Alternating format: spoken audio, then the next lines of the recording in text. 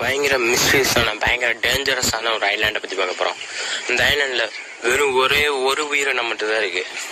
அந்த உயிரினத்தை பற்றி நம்ம பார்ப்போம். அதுக்கு முன்னாடி.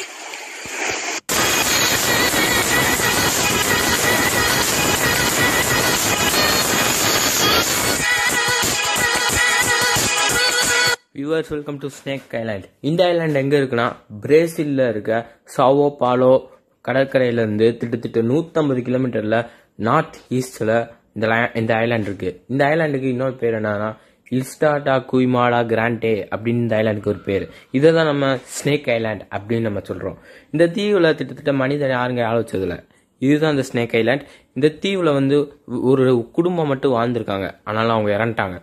இந்த தீவில் தான் பாறைகள் அதிகமாக இருக்குது இந்த தீவில் திட்டத்திட்ட நா ரெண்டு லட்சம் பாம்புகளும் நாலாயிரம் ஸ்பீசிஸ் இருக்குது இந்த தீவில் ஒரு லைட் ஹவுஸ் இருக்குது அதை பற்றி நான் பின்னாடி சொல்கிறேன் இந்த தீவை பற்றி பார்ப்போம். இந்த தீவில் நிறைய பாறைகள் இருக்குது இது ஒரு வெப்பமண்டல தீவு. இந்த தீவில் வந்து மனிதனோ இல்லை வேற எந்த மேமல்ஸும் வாழ முடியாது. அதனால பாம்புகள் தன்னை வேட்டையாட எதுவும் இல்லைன்றதுனால இந்த தீவை தன்னுடைய ராஜ்யமாக்கிக்குச்சு. ஓகே இந்த தீவை பற்றி இன்னும் கொஞ்சம் இன்ட்ரெஸ்டிங்கான விஷயம் பார்ப்போம்.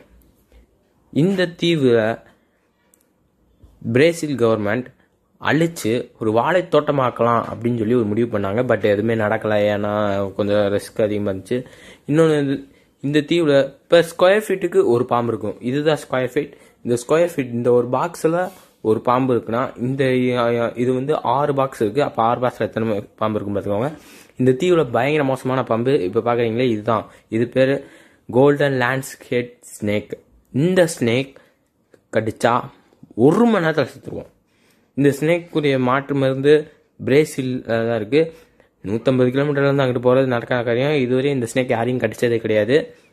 ஸோ இந்த ஸ்னேக் உலகத்தில் வேற எங்கேயும் இல்லை. இந்த ஸ்னேக் ஐலாண்டில் மட்டும்தான் இருக்குது பிரேசில் கவர்மெண்ட் வந்து இந்த ஸ்னேக்கை வந்து நிறைய இது பண்ணி பார்த்துருக்காங்க. நிறைய எடுக்க பார்த்துருக்காங்க. பட் எதா எதுவுமே நடக்கலை. நான் சொன்ன லைட் ஹவுஸ் இதுதான். இந்த லைட் ஹவுஸ் ஏன் அமைச்சிருக்காங்கன்னா இந்த சுற்றி இருக்க காட் கடல்ல இருந்து எந்த கப்பலும் இந்த இடத்துக்கு வந்துடக்கூடாதுன்றதுக்காக இந்த லைட் ஹவுஸ் அமைச்சிருக்காங்க அது மட்டும் இல்லாமல் இதை பராமரிக்கிற நாலு குடும்ப ஒரே ஒரு குடும்பத்தில் நாலு பேர் அமைச்சிருந்தாங்க பட் நாலு பேருமே இறந்துட்டாங்க. எப்படின்னு கேட்டிங்கன்னா பாம்பு குத்தி தான். இந்த தீவில் இருக்க பாம்புகள் எப்படி வந்து தன்னோட தன்னோட உ- உணவை எடுத்துக்கும்னா அங்கே ரெஸ்ட் எடுக்க வர பறவைகளை வேட்டையாடி தான்.